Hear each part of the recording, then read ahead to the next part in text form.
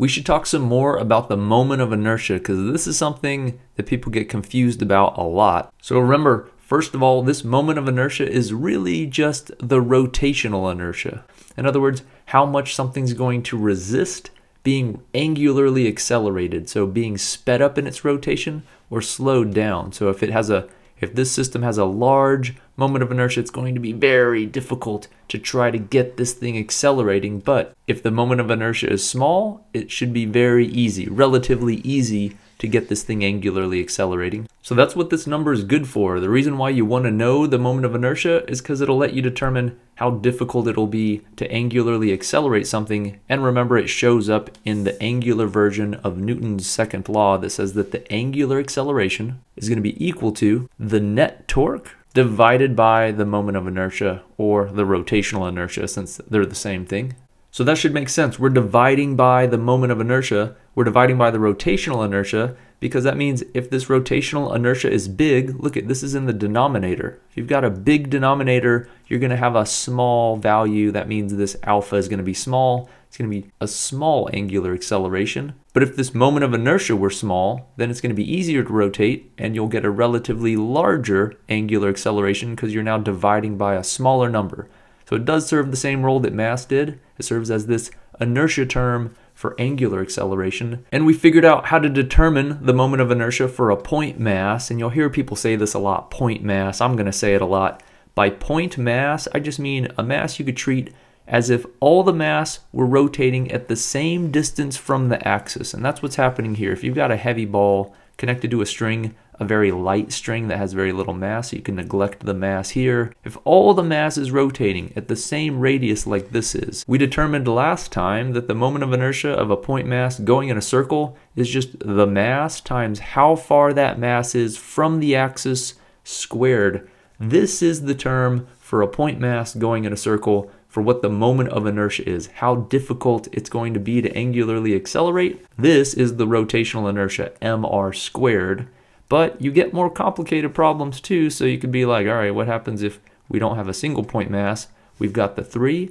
Well, we did this last time as well. If you have multiple point masses, all you need to do is say that, all right, for multiple point masses, just add up all the contributions from each individual point mass. So if we're careful here mathematically, we should put an I subscript, but don't let that freak you out. This just really means add them all up. So this would be m1 times r1 squared. So you take the mass 1 times its distance from the axis squared plus m2 times r2 squared. You take mass 2 times its distance from the axis squared, and then you do the same for m3. And if you had more masses, you would just keep adding them up. If you have a whole bunch of point masses that you can treat as if all the mass were rotating at the same distance from the axis. Now you might object, you might say, wait, different masses here are rotating at different distances from the axis, but all of that particular mass, all of m1 is rotating at the same radius from the axis. So we can use this formula for point masses.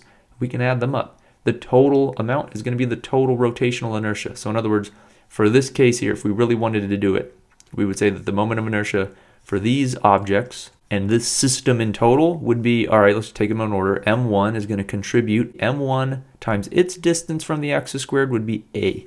So we do A squared. And let's say B is just the length of this string. So B just represents that length. And similarly, C represents that length. And we're going to assume the radii of these masses are small. I had to draw them big so we can see them, but it's easiest if you consider them to be small because then we don't have to take into account their actual radius.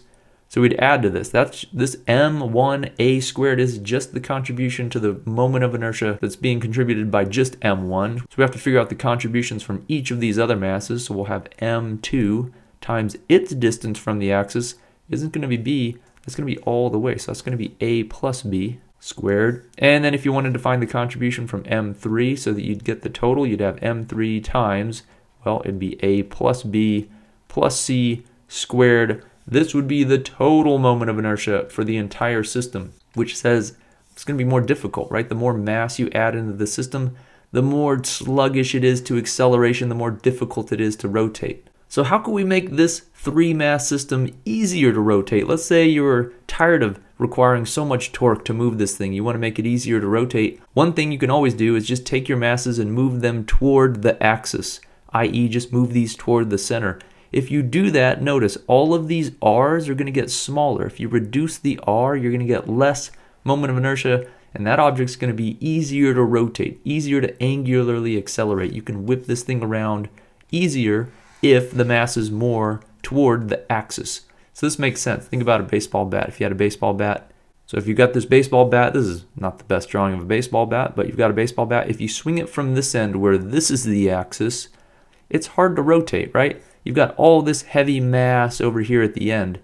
But if you swing it instead where this is the axis, if you just turn it around and swing it from this end where this is the axis, now you've made it so most of the mass is near the axis. And if you do that, the radius of that mass is going to be smaller. And if the radius is smaller, it's going to contribute less to the moment of inertia, less to the rotational inertia. It's going to be easier to swing. So you can swing a baseball bat really easy if you hold it by the fat end compared to the actual end you're supposed to hold. You could swing this faster. It's probably not a good idea. You're probably not going to hit the ball very, very far, but you'll be able to swing it much faster because that moment of inertia is going to be smaller. And then the other thing we could do, we could always just reduce the masses. If you can make the mass less, you reduce the moment of inertia. And if you if you could move those masses toward the axis, you reduce the r, you reduce the moment of inertia or the rotational inertia. But what if you don't have point masses at all? I mean, we don't always have situations where the thing that's rotating are a bunch of point masses. What if you had something more like this, where it was like a rod that had its mass evenly distributed throughout the entire rod and it rotated in a circle? I mean, we couldn't use this formula now because this assumes that all the mass is rotating at some radius r, but for this rod, only the mass at the end of the rod is rotating at the full length of the rod. The mass that's closer to the axis is going to have a smaller radius. It'll only be rotating at part of the length. This would only have a radius of L over 2, and this part right here would only have a radius of maybe L over 8. So how do we figure this out? We, we can't just say the total mass of this rod if this rod has a total mass m and a total length L. We cannot say that the moment of inertia of this rod about its end is going to be ml squared. That's just a lie. This total mass is not rotating all at a radius of length L. Only the little piece at the end is rotating with a radius of length L. The rest of this mass is having its contribution to the rotational inertia diminished by the fact that these masses are getting closer and closer to the axis. So what do we do? Well, we can't we can't use this. Let's get rid of this. That's that's not possible. The truth is you have to use calculus to derive the formula for these continuous objects and it's fun. You can do integrals and you can solve for these moments of inertia. That's one of my favorite calculations to do. It's kind of like a puzzle. You can solve for the moments of inertia, but if you don't know calculus, that would just look like witchcraft to you. So I, I suggest you learn calculus and try it because it's really fun. But I'm just going to give you the result. It turns out the moment of inertia for this rod is going to be, and without knowing the exact answer, we should be able to say, is it going to be bigger than, less than, or equal to ml squared? We should be able to say it's got to be less than ml squared. It's not going to be ml squared. It's going to be less than this because ml squared would be if all of the mass were at the full length of the rod for their radius. Then you would put ml squared. If, if you could melt this rod down into just a ball and put that ball at the very far end, you'd be maximizing its rotational inertia because you'd put all of the mass with the same largest radius r. But some of this mass is in here. Some of this mass is only at L over 2 or at L over 4 or at L over 8. So those little pieces of mass are having their rotational inertia contribution diminished. So we're going to have less than ml squared. How much less? Turns out for a rod about its end, it's one third ml squared. And if you do the integral, that's where this one third comes from. So this is for a rod with the axis at the end of the rod. So that's the moment of inertia for a rod rotating about an axis that's at one of the ends of the rod. But what if we moved this axis to the center? What if we move the axis here so that this whole rod rotates around a point in its center? Do you think the moment of inertia of this rod, that's the same mass and length that it was, we're just rotating it about the center, do you think this moment of inertia is going to be bigger than, smaller than, or equal to what the moment of inertia was for a rod rotated about the end? And the way I would think about it, I'd, I'd just ask myself this question. Is more of the mass farther away now or closer to the axis? Because we know if we can decrease these r's, we decrease the moment of inertia. And in this case, we did decrease the r's. Think about it. The farthest some piece of mass will be from the axis now is L over 2. It's L over 2 this way and L over 2 that way. Whereas before, where the axis was at one end, some of the mass was at L away. So that'd be L squared, but now you're only going to have L over 2 squared for the farthest some piece of this mass is going to be. And that's going to decrease the moment of inertia even more because more of this mass is closer to the axis when you move it to the center. So it's going to be less than 1 third ml squared. Turns out if you do the integral, you get 1 12th ml squared. So this is for a rod with the axis at its center. So what's what's another common geometry? Well, if we get rid of that. Another case that comes up a lot is a cylinder or sometimes it's called a disk. So let's say you have a cylinder, a solid cylinder of mass m and it has a radius r. What would this moment of inertia be? Well, you can probably tell by now. All right, so it's not going to be the total mr squared, and it's not going to be the total mr squared because all of the mass is not rotating at the full radius of the cylinder, right? So it's going to be less than this. How much less? If you do that integral, it turns out that you get 1 half mr squared. So it turns out the fact that some of these masses are closer to the axis than the full radius of the cylinder makes it so that the total moment of inertia is 1 half the total mass of the cylinder times the total radius of the cylinder squared. That this is for a cylinder with the axis through the center. So the center, so it's rotating around a point right here. So it's rotating like this around this point here. And that's important to note. It's not enough to just say, hey, I gave you a rod, what's the moment of inertia? Because you've got to know, well, where's the axis? If someone just hands you something and says, what's the moment of inertia of this? You can't give them an answer until they've specified where they want you to rotate the object around. If you rotate the rod about its end, it's 1 third ml squared for the moment of inertia. If you rotate the rod about the center, it's 1 12th. And again, the reason for that is because by rotating it around different axes, you've made it so some of the mass is at different r's from other axes that you could choose. So this was for a cylinder, also called a disk. Sometimes a sphere comes up, so this is another common example. Say you had a sphere also rotating around an axis, like the Earth rotating on its axis. And let's say it also has a mass m and a radius r. Again, because some of this mass is closer to the axis, look at this mass right here is only rotating in a circle like that, as opposed to at the full radius of the sphere, it's going to have less than mr squared. How much less? Well, for a sphere rotating about an axis that goes through its center, you get that the moment of inertia is 2 fifths mr squared. So that was for a sphere rotating about an axis that goes through its center. And at this point you might object, you might say, wait a minute, we had spheres. When we had spheres before, we did mr squared.